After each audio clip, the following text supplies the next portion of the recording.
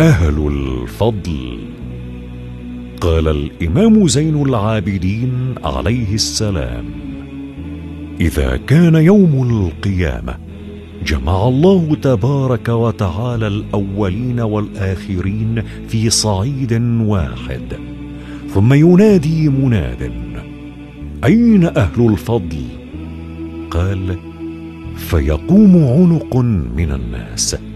فتلقاهم الملائكة فيقولون وما كان فضلكم؟ فيقولون كنا نصل من قطعنا ونعطي من حرمنا ونعفو عمن ظلمنا.